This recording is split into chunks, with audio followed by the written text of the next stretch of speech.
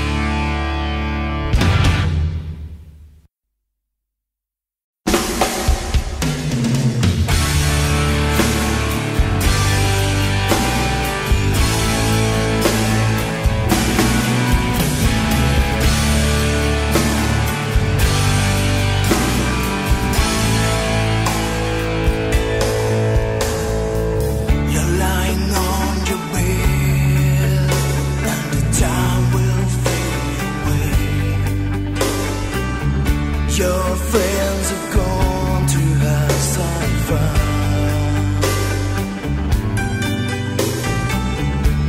They wanted you to go alone to stay at home. Crazy.